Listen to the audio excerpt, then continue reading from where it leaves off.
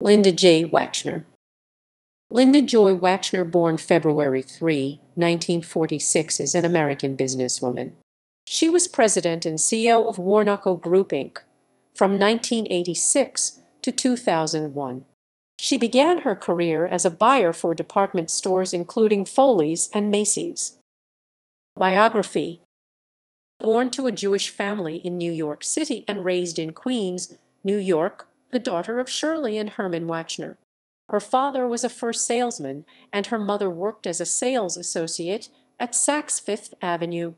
In 1966, Wachner graduated with a B.A. in Business Administration from the University of Buffalo.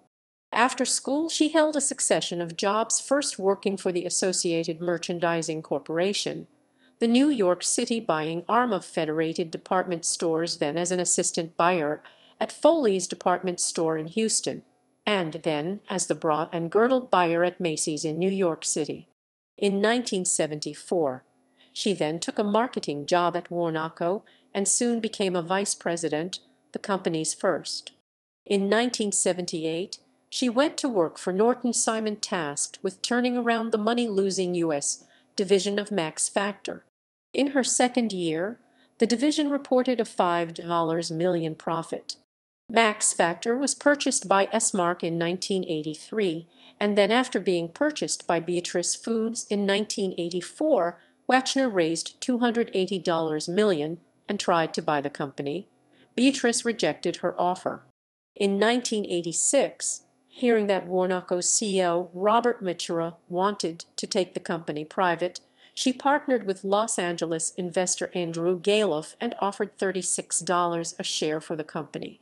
Although a bidding war broke out with competing bidder Mitura, Wachner and Galef ultimately won the bid paying $46.50 a share or $550 million of which $500 million was borrowed via Drexel Burnham Lambert.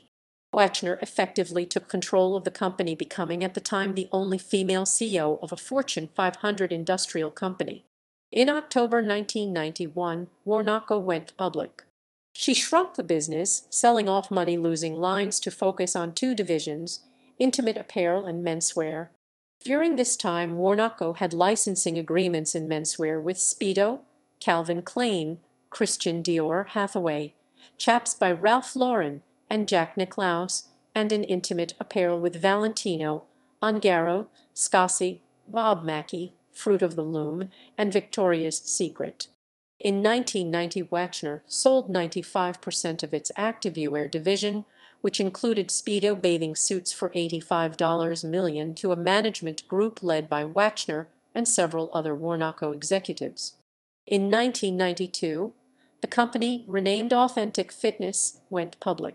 In 1999, Warnaco required Authentic Fitness for $504 million in cash and $120 million in the assumption of debt. In 2000, Calvin Klein, Inc. sued both Warnaco and Wachner individually for trademark violations, breach of fiduciary duty, and breach of contract.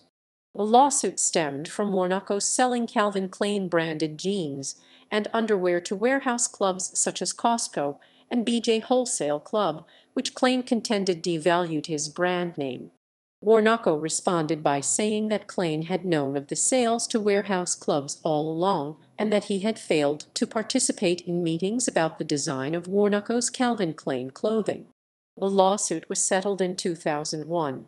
Although the terms of the settlement were not publicly revealed, the New York Times reported that Warnaco would retain its license for Calvin Klein jeanswear but would have to limit its sales of such jeans to warehouse clubs and mass merchandisers while Klein or his design team would have the right to approve changes in cut and material, but would have to respond quickly to Warnaco's. Warnaco filed for bankruptcy protection on June 11, 2001.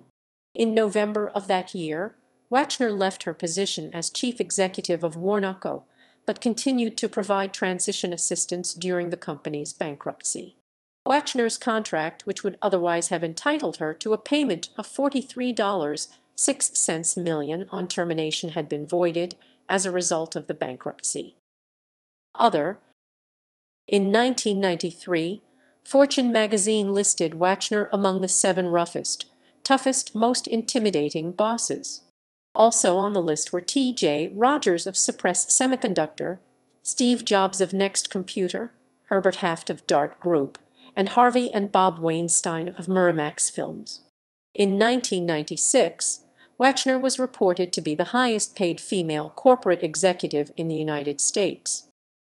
Personal life In 1973, she married Seymour Appelbaum, who was 31 years her senior. He died in 1983. They did not have any children. Equals equals References equals equals equals